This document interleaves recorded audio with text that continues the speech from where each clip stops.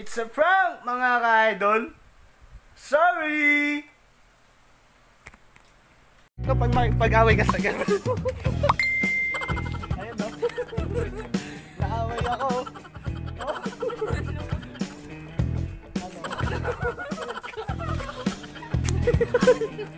Ano? Mga away. so yan, napagod siya. Naging malambing bigla. Ha ha ha!